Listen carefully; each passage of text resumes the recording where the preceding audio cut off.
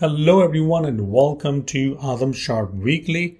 And in this video, I'm going to show you how you can create immersive space in Vision OS where you can add virtual objects like cubes and circles and spheres using Reality Kit. So let's go ahead and get started. The first thing I'm going to do is create my Vision OS project. So select Vision OS app, next and over here, you can provide your name for the project. Now, other settings that you have initial scene, immersive space, we're just gonna leave it as it is right now. Okay. Although you can change it, but we, I will show you that you can still create an immersive space just by adding a couple of keys in info.plist file. So don't worry too much about it. So I'm to say Vision OS box. Let's do next. And desktop is perfectly fine. So let's go ahead and create it on the desktop. Now, the first thing, since we didn't really change anything, we didn't really made it an immersive space. So the first thing you notice is that you are looking at a Swift UI window that is created. Now, if we go to the Vision OS app, you can see it's a window group and it shows you a content view, which is basically a Swift UI view. All right. Now, in this case, we don't really want a Swift UI view. We want an immersive experience. So we want kind of like unbounded space where we can just throw stuff, we can just play stuff, and all of that fun stuff. All right. So how can we do that? Well, the first thing we need to do is we need to tell our application that the default scene is actually an immersive space. So let's go to the info and open up this file. And you can see currently it's set up to be as window application session role. We're going to change that to be immersive space application session role. This is important. If you don't do that, then your app is not going to work. Now we're going to go back to the Vision OS box app. And this is our kind of like the entry point of our application. And over here, instead of the window group, which actually creates windows, we can remove all of this stuff and we can create an immersive experience by using immersive space. Inside the immersive space, we can return some sort of a view. This can be any view that you have. So I'm just going to go ahead and say content view. Let's go ahead and build it. Now, once we build it, we are now rendering this content view inside the immersive space. If you go to the actual content view, you can see that nothing really has changed. If you want to update your previews, you can also use immersive space over here.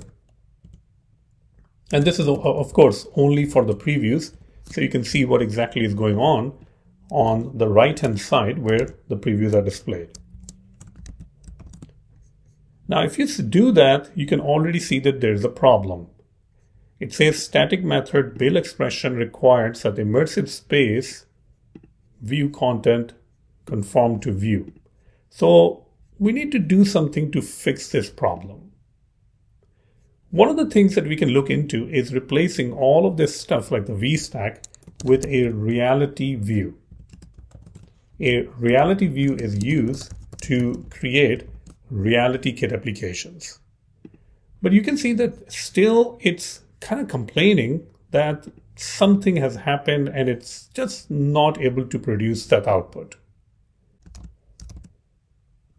Okay, great. So now we are inside this immersive style and you can see that we are not really rendering anything. We're in a museum, but it doesn't really render anything right now. We can start simple by adding some sort of a box or a cube. So I'm going to say box mesh. The first thing we're going to create will be the box mesh. So let's go ahead and create something. And you can see that the actual Xcode previews is just so fast. As soon as I type something, it just kind of say that, hey, you got to do something about it. Okay, so let's call it box mesh equals to mesh resource. And then we can generate it from the box with the size. And these sizes are in meters. So that's why I'm just going to say 0.3 meters, which is actually pretty good size. Next, we're going to say material. And we can use the material. Uh, we can use a simple material over here. Simple material with a particular color. Let's go with the red color and metallic true. If we do metallic true, then it means that it's going to be a little bit more reflective. The next thing we can do is to actually create our box. So let's go ahead and create a box. This will be a model entity and it will be based on the mesh that we're going to provide, which will be the box mesh and the material array, which in this case we can simply pass in the material. But if you have different materials, you since it's an array, you can pass in different materials also. Final thing that we want to do is we want to add this particular box, which is an entity, to our content. And whenever we add that, that particular content gets displayed. So let's go ahead and save it. And we will have to move around a little bit. Oops. I think that's the problem with moving around. Let's click on that. Okay, do we see the box? It's right there. Awesome, right? We can actually move around over here. We can see the box. It's getting displayed. Great. It looks pretty good. I mean, the box is definitely getting displayed over here. But one of the things you will note is that the box is displayed, but there's like a window where the box is coming from. So that kind of looks weird. I mean, we can go and look at the box a little bit closer, but it looks really weird coming out of this window thing. So how can we make sure that we don't have this window being displayed over here? And will this have the same experience if I actually run it on the simulator? So let me go ahead and run it on the simulator.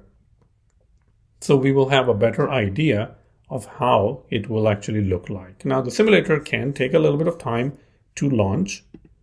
And here we go. You can see the simulator is trying to start up. Once the simulator is started, and there we go. I think it's booting itself. The previews are great, by the way, because you can definitely tell what's going on immediately. Okay. Okay, I don't really see any box anywhere right now. Okay, let's walk around a little bit. Maybe you did added the box somewhere. Oh, there it is the box. Hmm, that's weird. Because this particular box on the simulator doesn't really have any window. See that? It's on its own, which actually looks really nice. But the one that we are looking at in our preview, which is this one, does have some weird window behind it. So how can we make sure that in our preview, it also appears just like in our really nice simulator? So let's go ahead and see how we can achieve that. So everyone, I did try several different combinations for it to work, but unfortunately I couldn't got it to work. Like it always display this weird window and you can see that the box or the cube is coming out of the window.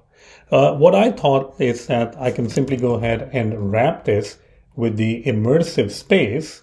And if you look at the immersive space, there are a lot of different things it returns. But the one that I'm interested in returning is the one which returns v, which is probably the view. And I thought I can just wrap it up and I can say content view, and that would be it. But it doesn't look like this is happy about it. It's complaining, so it's not going to work. But if it works on your actual simulator, not the previews, then that is good enough. All right. If you do have your Vision Pro device, you can definitely try to run this app on the Vision Pro device you may have to just select the actual Vision Pro device from over here, and then you can run it. Okay. So this is pretty cool. I mean, we are at least able to display something. Now, how can we add gestures to it? Like, what if I just want to drag this box somewhere? And for these examples, you know, it would be much nicer that we will use the actual simulator so that we can only see the box and not those windows. Okay. Now, in order to drag the box, we have to go ahead and implement the gesture. So let's handle the gesture and I'm going to go ahead and handle, there are many different kinds of gesture like a tap gesture and swipe gestures and all these kind of things, but we're going to be using the drag gesture, which as you can imagine, it, works with dragging.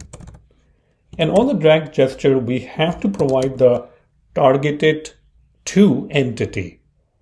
So targeted to entity is basically means that which entity are you targeting for this drag gesture? Well, the problem is that the entity is box, but it's only available, well, inside this closure. So we have to do something with the box so it's we can pass it over here. If I pass the box over here, as you can imagine, there is no such thing as a box and it cannot really find the box.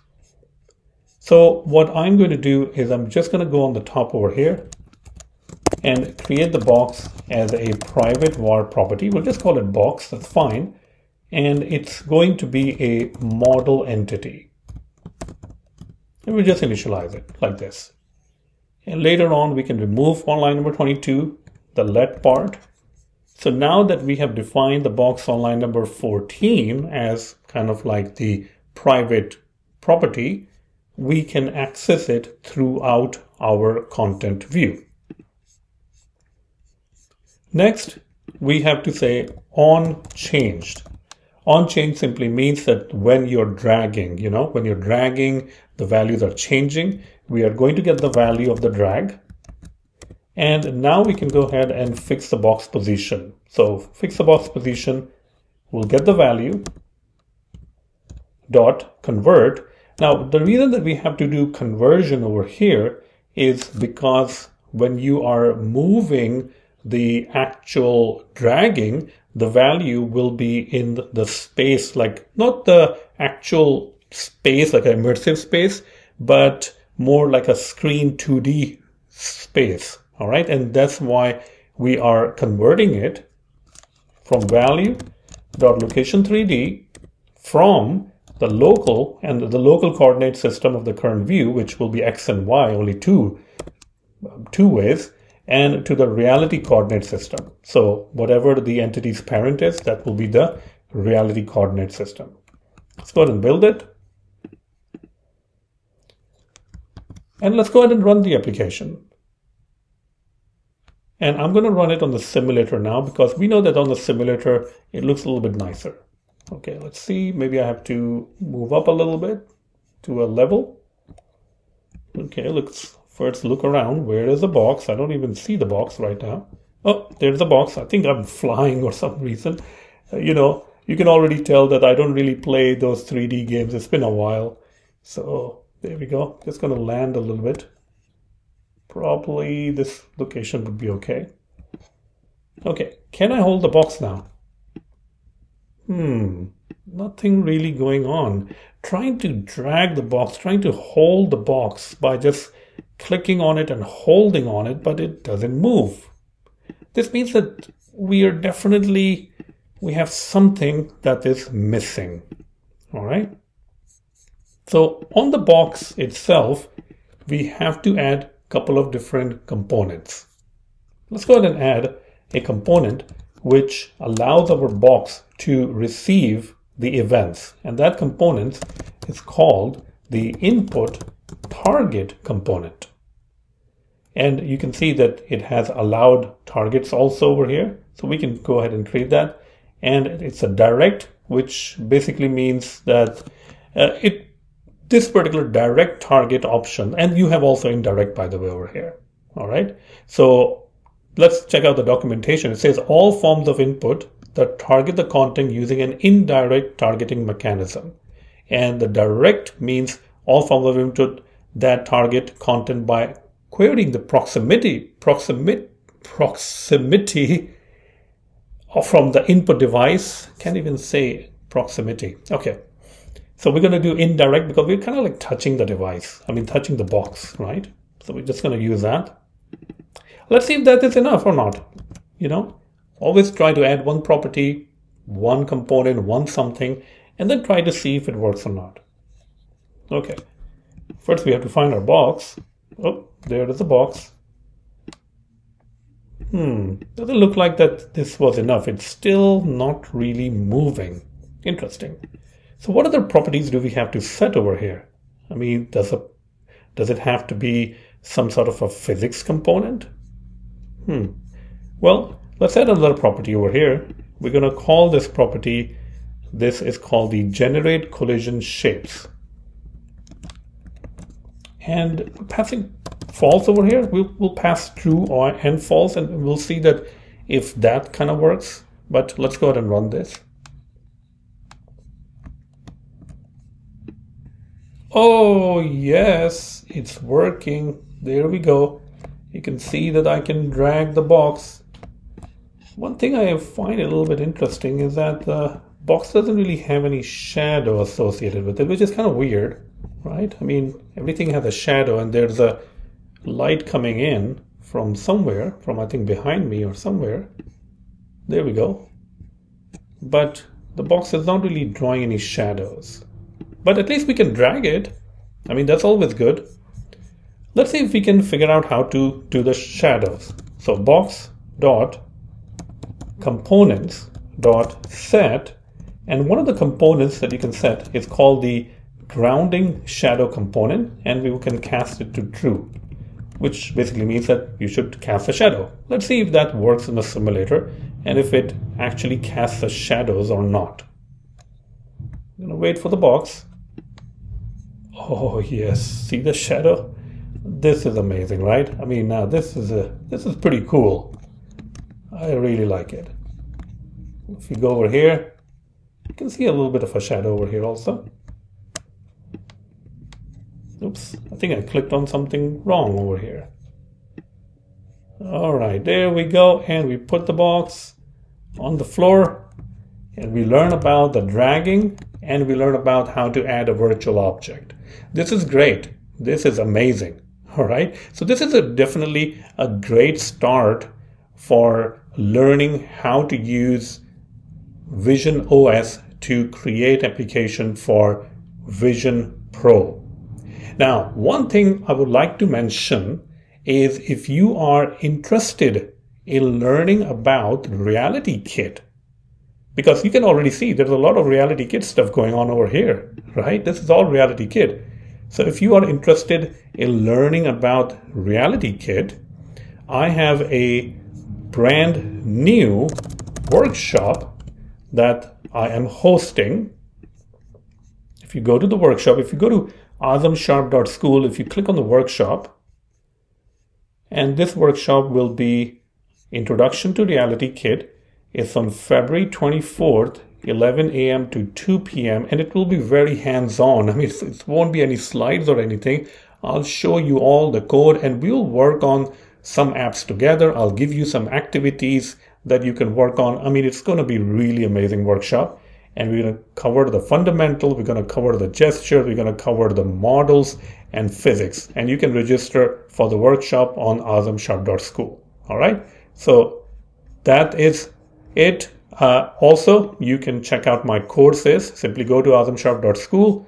And if you scroll down, you can see all of these different courses that I have, MVVM. I also have a course on Reality Kit. Let's find that out. Yeah, it's right here. It's it's actually on sale right now. So hopefully you're going to enjoy it. Thank you so much and stay tuned for more.